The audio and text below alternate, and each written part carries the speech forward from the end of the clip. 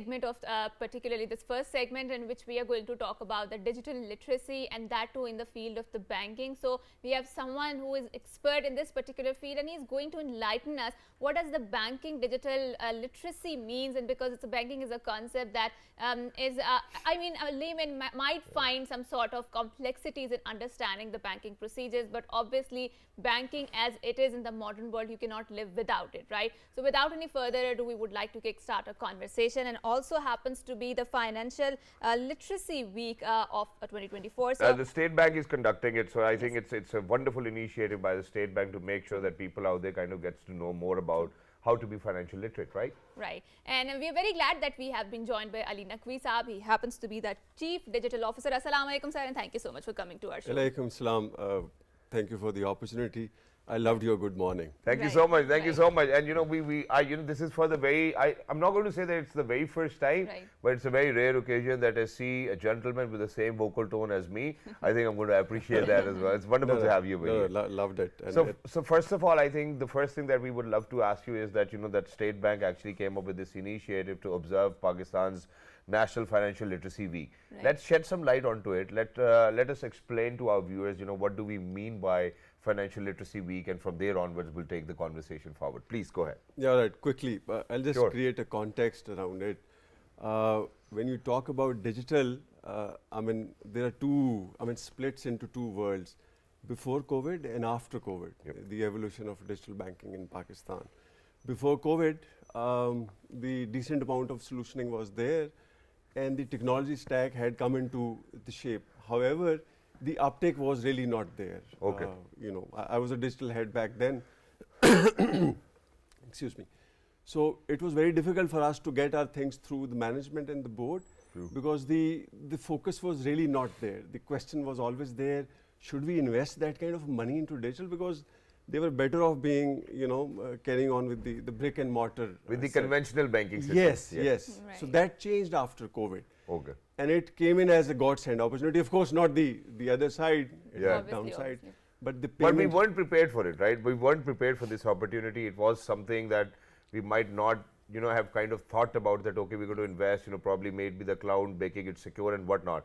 So as soon as COVID hit, that was the time when people started to think we had learning management systems from schools, mm. you know, and then we had more uh, applications yes, online yes. to kind of make sure that, you know, our daily businesses run smoothly. True. So then for you or for Askari Bank or for other banks, was it a challenge that, okay, now we certainly need to do it as quickly as possible?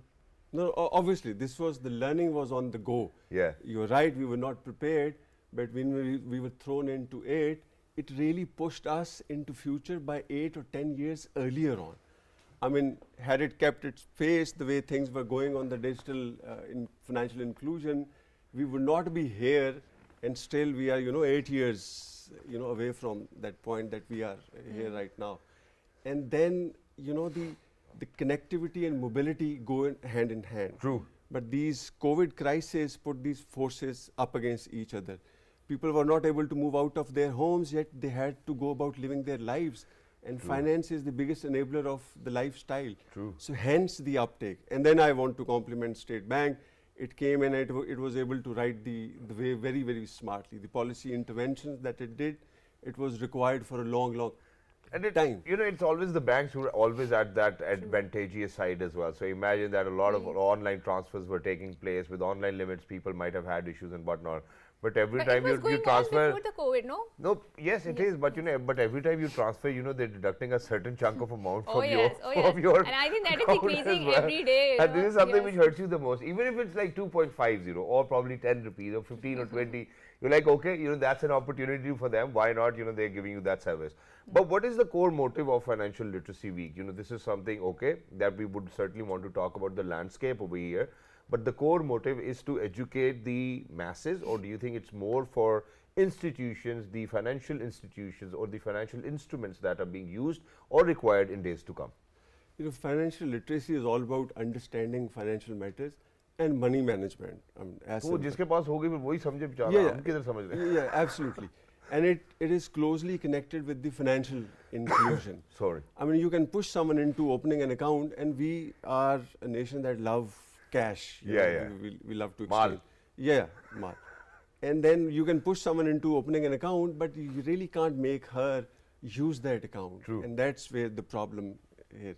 And I, will give you a different perspective sure. on that. Um, their efforts are being put in uh, by the government and other institutions, uh, but you know it has to be, I think, value driven, True. like many other things. Hmm. Uh, you create a value and the benefits on top of that value chain that you know the demand is then then Yeah. that comes out of it and this is how we should But, proceed but th then when you talk about financial inclusion and then you link it with the concept of financial literacy, so uh, a major chunk of a population which is living in the rural areas, right? So they might not be very well versed with the concept of banking and, and I mean the modern day gadgets or the instruments that are attached with the uh, banking system, right? So how do you bring them into the fore? Because obviously opening an account for them and then obviously the entire work is, I mean, yes, Urdu is also there, but generally it's in the English. So, so you know, what, are, what is your particular inst uh, institution doing to uh, spread the awareness in that particular population? Because I think the people of the urban areas, they're already well aware of the banking system, but Yeah. uh, people belonging from the rural areas, they might not that much have the opportunities. Because there are always two types of people. Yes. Number one, obviously people who do not want to get themselves into tax net, and number two people who yes. certainly do not know anything about banking or probably still have not got that trust to kind of invest or probably go deposit their money in the in the banks from the rural areas. Please. Which is why like i said we, we love dealing in cash and this tax aversion so we have to create value on top of True. that you know the, the some of the the punjab government and federal has done that they have created benefits on top of it when you use your credit card or debit card for restaurant based transactions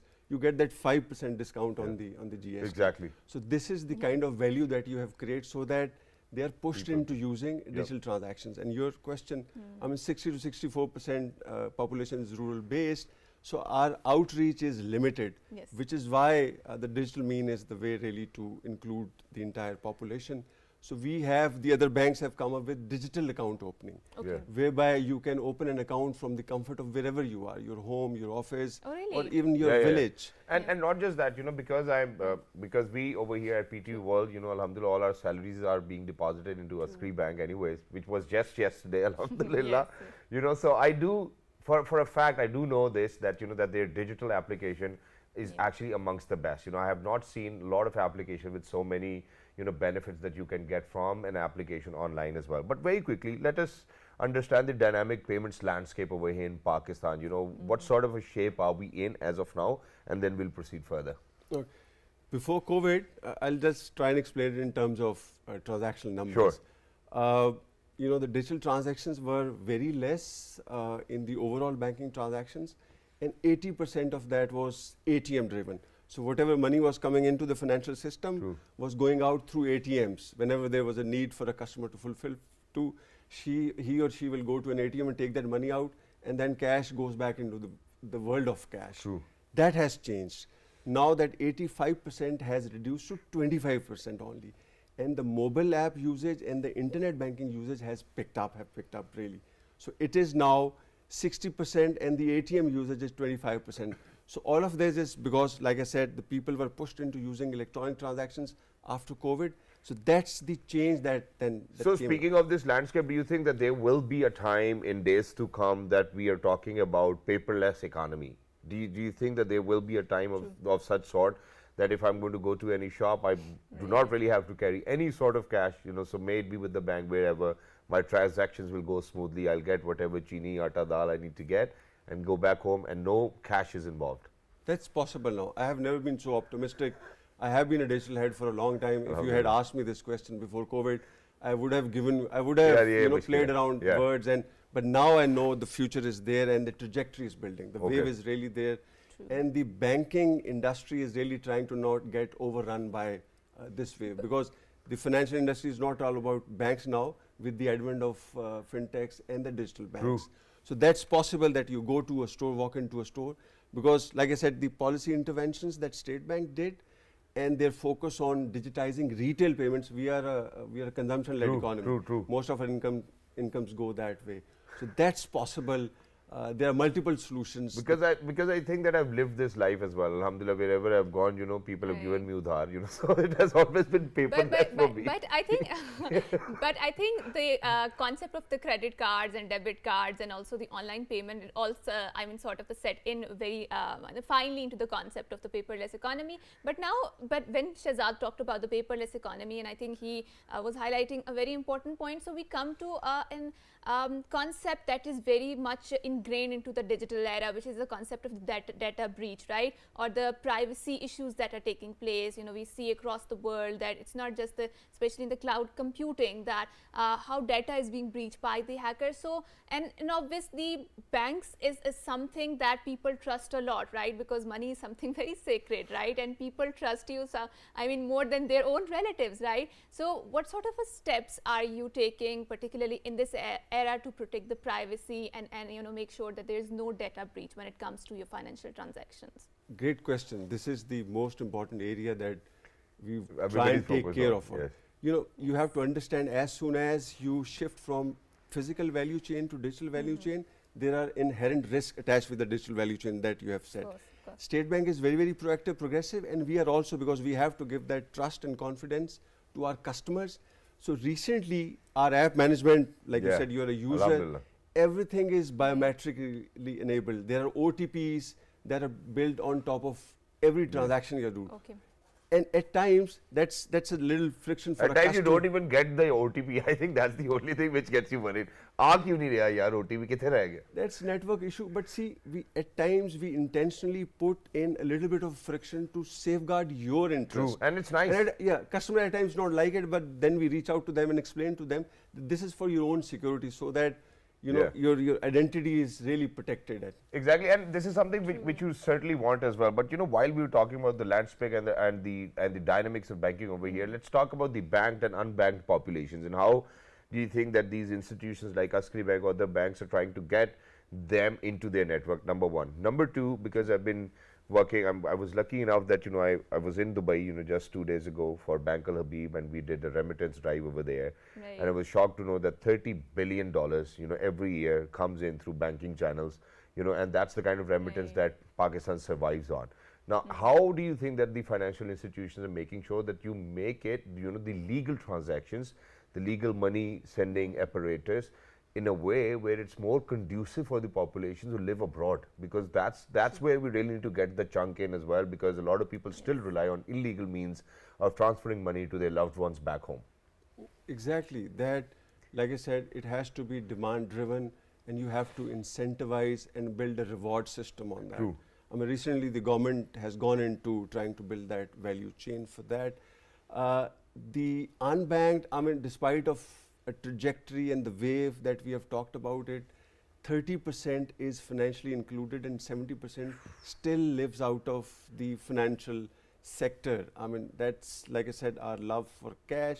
But there are a number of efforts that the hmm. entire industry, not just, this is not limited to banks, the fintechs are also part of the play, which helps us create that effective ecosystem.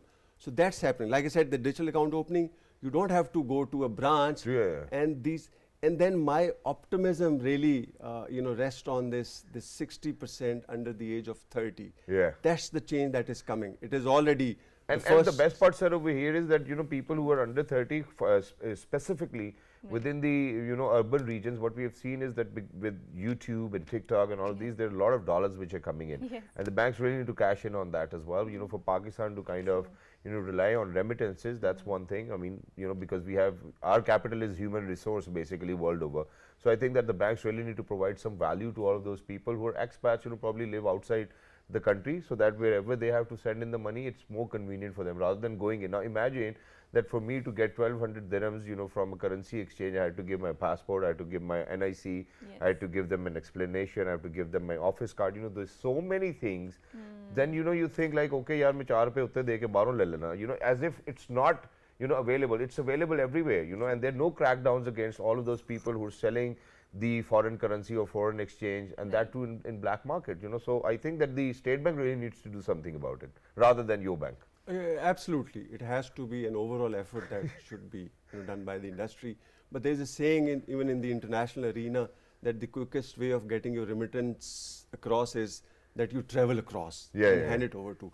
But like I said, this, dollars is other yes, this, the, the, solutions are happening. You talked about we talked about this 60% under the age 30, uh, the freelancers, yeah. Uh, the remittances that are being enabled through that channel. True. I mean, we have 9% of the total freelance, true, fourth largest destination.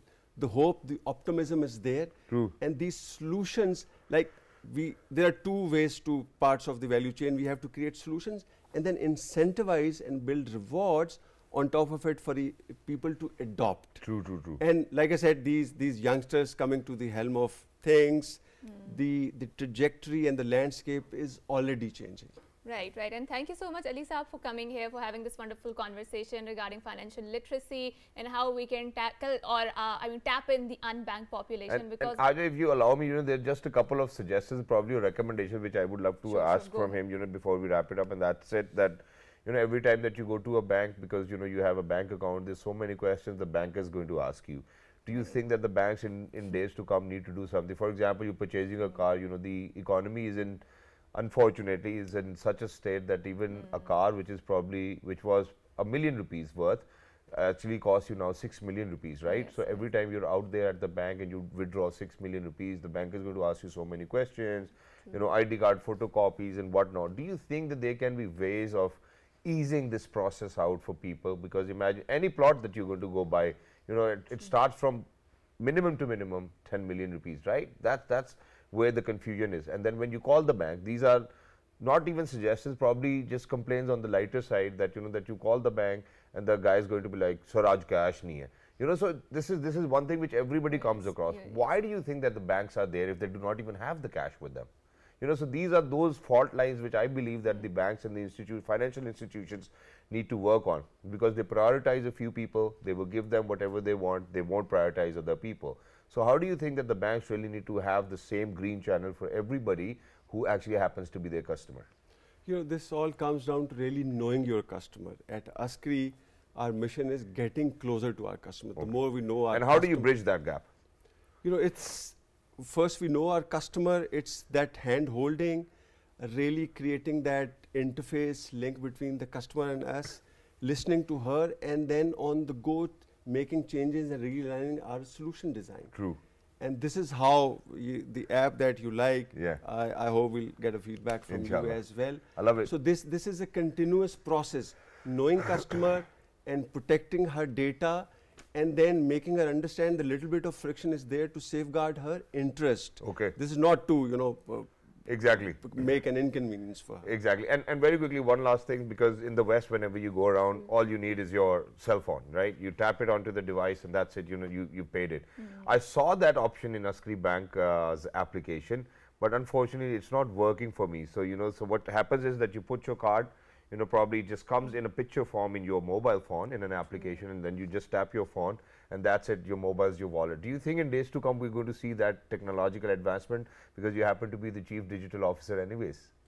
it's the solution called tokenization Yeah. it's very much possible through that the card gets embedded into the mobile app Yeah. and you don't have to tap a card you just tap your mobile Yeah. It is in It looks cool as well. You Yeah, know, you, is- you feel is. like James Bond. You don't have to carry money. You don't have Yeah. to carry your wallet. Just the mobile, which is with us all the All the time, time. 24/7. So the transactions are going to be enabled through the mobile uh, yeah, phone. and, also. and will it work in days to come? absolutely, absolutely. See, the transactional success rate is increasing, which is why this trajectory. Exactly. mean, and the trust that you don't carry hard cash in your wallet and just carry your mobile. Yeah. That's the objective that. Exactly. Well, thank you so much, Mr. Ali. Naqvi, for being with us, the. Chief Digital Officer at Askari Bank. Ladies and gentlemen, because I think I would want everybody to understand this, that, you know, your financial literacy actually depends on you. You really need to make sure that you educate yourself, you're well aware of, you know, the procedures out there and how you can actually be smarter from the brain, you know, because when we started to earn money, alhamdulillah, we were very young, we didn't know anything. Then later on, you know, our universities kind of contributed towards our financial management and financial literacy. But people who are really smart, ladies and gentlemen, learned it at a very early age. And for everybody who's out there, it's very important for us to be financially literate in an era which is all about digitalization. Obviously.